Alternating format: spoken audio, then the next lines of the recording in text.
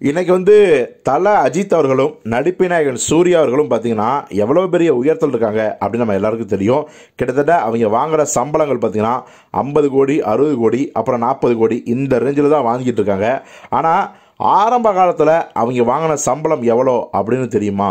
அதாவது தலை அஜித் வந்து ஃபஸ்ட்டு படமான அமராவதி அப்புறம் பவித்ரா. அவருடைய முதல் வெற்றி படம்னு சொன்னால் அது வந்து ஆசை தான் இயக்குனர் திரு வசந்தா இயக்கியிருந்தார்.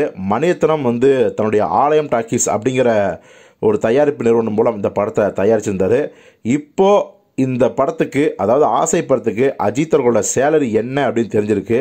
அது எவ்வளோ அமௌண்ட் அப்படின்னா வெறுமனே இருபத்தி ஐந்தாயிரம் ரூபாய் அப்படின்னு சொல்கிறாங்க இருபத்தஞ்சாயிரங்கிறது வந்து இப்போ ரொம்ப சொற்ப தொகையாக இருக்கலாம். ஆனால் அப்போ வந்து பார்த்திங்கன்னா அது ரொம்ப கம்மியும் கிடையாது. அதே சமயத்தில் ரொம்ப ஹையும் கிடையாது. ஒரு மூணாவது படம் நாலாவது படம் நடிக்கிற ஒரு ஹீரோவுக்கு கொடுக்க வேண்டிய தொகை தான். ஏன்னா அதுக்கு முன்னாடி அவருக்கு வந்து பெரிய ஹிட்டெல்லாம் எதுவும் கிடையாது. ஒரு ரெண்டு படம் தான் நடிச்சிருக்காரு அப்படிங்கும்போது ஆசைப்படத்துக்கு வந்து இருபத்தஞ்சாயிரம் அப்படிங்கிறது ஓரளவு ரீசனான ஒரு அமௌண்ட்டு தான் அப்படின்னு சொல்கிறாங்க அடுத்ததாக பார்த்தீங்கன்னா நம்ம நடிப்பின் நாயகன் சூர்யா வந்து அவருடைய முதல் படமான நேருக்கு நேர் கிட்டத்தட்ட ஆசையோட அதே டீம் தான் நேருக்கு நேரில் ஒர்க் பண்ணாங்க.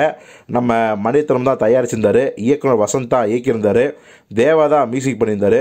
ஸோ கிட்டத்தட்ட அதே டீம் அப்படியே ஒர்க் பண்ணுறாங்க இத்தனைக்கும் பார்த்தீங்கன்னா இதுலேயும் அஜித் தான் சூர்யா கிட்ட நடிக்கதாக இருந்துச்சு. அதுக்கப்புறம் வெளியே போயிட்டாங்க. அதெல்லாம் நமக்கு தெரிஞ்சது தான். இப்போ சூர்யா வந்து இந்த படத்தில் நடித்ததுக்கு அவருக்கு எவ்வளோ சேலரி கொடுத்தாங்க அப்படின்னு நம்ம விசாரித்தா அவங்க சொல்கிற தொகை என்னென்னா ஐம்பதாயிரம் ரூபாய் அப்படிங்கிறாங்க. அதாவது ஆசையில் வந்து அஜித்துக்கு இருபத்தஞ்சாயிரம்.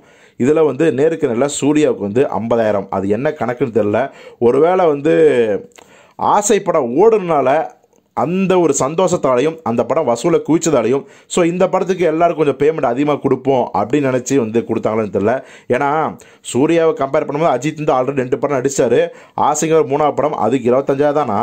சூர்யா வந்து முதல் படமே நேருக்கு நேர் தான் அப்படிங்கும்போது கண்டிப்பாக இருபத்தஞ்சாயிரம் தான் கொடுத்துருக்கணும். ஆனால் ஐம்பதாயிரம் அப்படிங்கும்போது இதை நம்ம யோசித்தா கண்டிப்பாக ஆசை படம் வந்து ஒரு மெகா ஹிட்டான படம் அப்படிங்கிற காரணத்தினால இந்த படத்துக்கு கொஞ்சம் தாராளமாக கொடுப்போம் அப்படின்னு முடிவுக்கு வந்து தான் சூர்யாவுக்கு முதல் படத்துலேயே ஐம்பதாயிரம் ரூபாய் கிடைச்சது அப்படின்னு தான் நம்ம எடுத்துக்க முடியுது.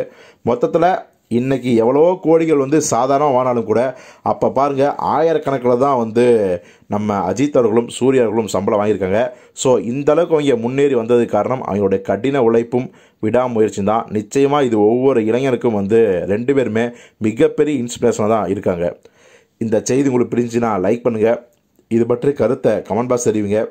உங்கள் ஃப்ரெண்ட்ஸுகளுக்கு ஷேர் பண்ணுங்கள் இது போன்ற சுவையான தமிழ் சினிமா செய்திகளுக்கும் விமர்சனங்களுக்கும் மீடியா தர்பார் சேனலை சப்ஸ்கிரைப் பண்ணுங்கள் நன்றி. வணக்கம்.